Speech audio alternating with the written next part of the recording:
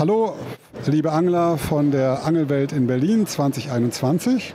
Wir sind auf dem Grappa New Canoe Stand und schauen uns ein paar aktuelle und auch neue Angelkajaks an mit Pedalantrieb zum Paddeln oder auch äh, mit der Möglichkeit, einen E-Motor oder einen Verbrennungsmotor anzuschließen.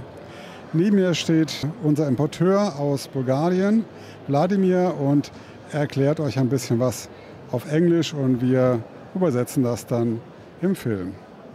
Hallo Wladimir, tell us, tell us please something about the Grapper Canoe series. Hello. So basically, we have uh, several models in the pedal drive range, which uh, we can show to you right now. Uh, so far, we can start from, from the smallest model on the market. Uh, currently, the smallest pedal-driven kayak on the market is this. Is the new Catfish 8.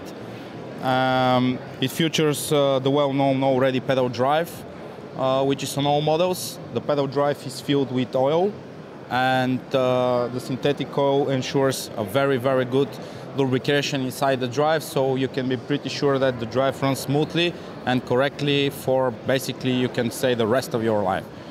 Uh, there is five-year warranty on the drive, five-year warranty on the hull. Everything is covered, so rest assured you drive the kayak for many years without having issues.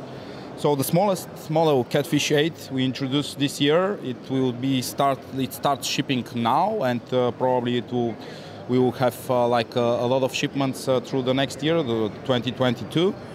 Um, basically, it's an improved version of uh, of the so far you know very popular Catfish 10 and Catfish 13. Um, the key points here are that uh, the kayak is really really small.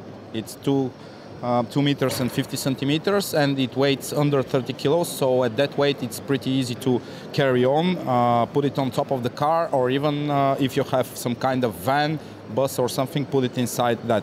And uh, you can also easily carry it to the lake and back and forth. So uh, that's the best part of it. Uh, it's still features really, really good stability, like the Catfish 10. It's very similar in stability. Uh, it's very maneuverable because it's very short. So it's a really, really nice kayak, and uh, we believe uh, a lot of people will like it because of that. Uh, then we can move to the Catfish 10. It's a very well-known model uh, on the market. It sells already for many years. It's, it does have uh, small improvements from from the previous year. so there are new colors which we will ship, of course. These are some, some of the new colors which we have, and they will ship in the next year as well. Um, that's about it. I mean, probably that's the best-selling model we have from Grapper, so uh, there isn't much to, more to say about it. It features the same drive. Same drive is on all kayaks.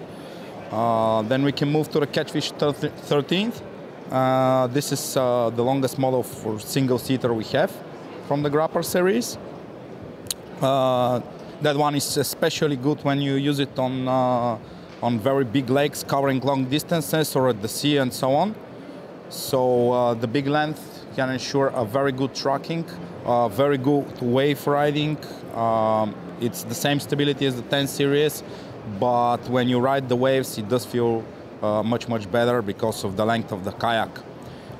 Uh, the new stuff for, for the next year is also the double kayak we have. It's a Catfish 14D uh, it's basically the same model as the Catfish 10, but it's a double one. With, you have two seats, you have two drives, and so on. So you can ride it on tandem. It's really good. It's about um, you know 20 centimeters longer than the Catfish 13th. Uh, basically similar weight, a little bit more, of course, because of the length, but still uh, very nice uh, kayak for uh, even for family uh, usage because you can also use it as, uh, as a family kayak, not only as a fishing kayak, because of the two seats and two drives. In Kürze seht ihr den Beitrag über die Nukanoe Angelkajaks für 2022.